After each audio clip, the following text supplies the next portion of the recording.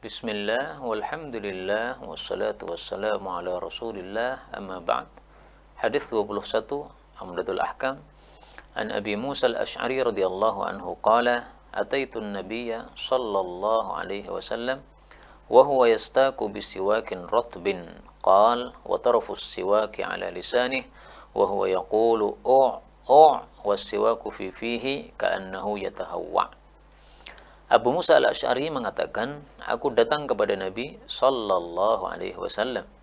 Wahwa sementara Nabi yastaku bersiwak bisiwakin rotbin dengan siwak yang basah. Qala Abu Musa mengatakan, wa siwaki dan ujungnya siwak ala lisanihi di atas lidah Nabi sallallahu alaihi wasallam. Artinya beliau sedang menggosok lidahnya. Wahwa yaqul sementara sementara beliau itu berkata, maksudnya bersuara ya, u' u' wasiwaku sementara siwak itu fi fihi ada pada mulut beliau. Ka'annahu seolah-olah beliau itu yatahawwa'u sedang muntah. Hadis ini menunjukkan disunahkannya bersiwak. Dan hadis ini menunjukkan bahwa siwak yang paling afdal adalah siwak yang masih basah. Meskipun siwak yang kering juga boleh digunakan, tetapi siwak yang masih basah ini lebih bisa membersihkan daripada siwak yang kering. Dan Rasulullah Wasallam lebih menyukai siwak yang basah daripada siwak yang kering. Maka di sini Nabi pun juga memakai siwak yang basah. Kemudian hadis ini menunjukkan juga bahwasanya lisanihi yang digosok dengan kayu siwak tidak hanya bagian gigi tetapi juga lidah. Karena lidah ini juga kotor.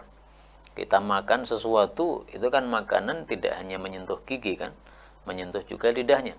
Nah, maka lidahnya juga dibersihkan.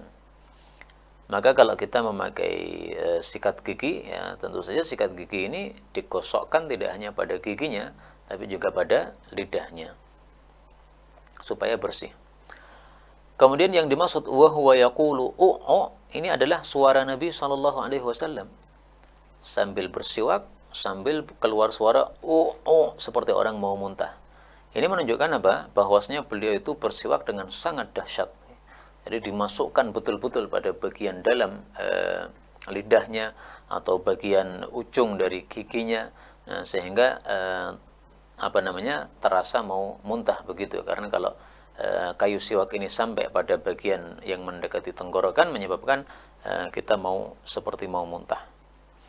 Boleh juga kata-kata wahwa yaqul itu bukan Nabi bersuara tetapi wahwa dan siwak itu yaqulu bersuara u u jadi suaranya siwak nih tetapi pendapat yang lebih terkenal adalah bahwa ini wahwa yaqul ini suara Nabi wasallam.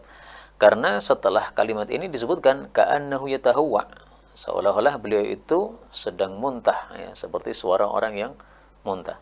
Maka kesimpulannya hadis ini menunjukkan bahwasanya disunahkan ketika bersiwak kita melakukannya secara mubalaghah, secara dahsyat karena tujuan bersiwak memang untuk membersihkan mulut Nah, maka dibersihkan sebersih-bersihnya.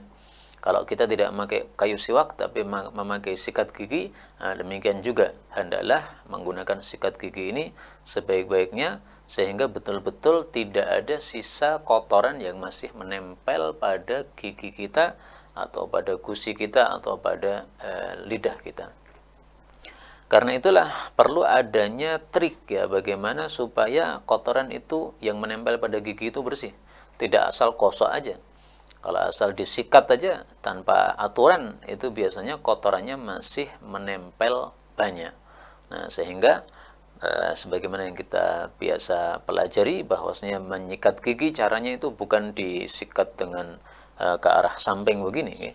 Tetapi disikat sesuai dengan uh, alurnya gigi itu ya. Gigi dari atas ke bawah kan uh, disikat ke atas ke bawah ini supaya kotoran-kotoran yang ada di sela-sela gigi bisa bersih والله تعالى أعلم بالصواب والحمد لله رب العالمين.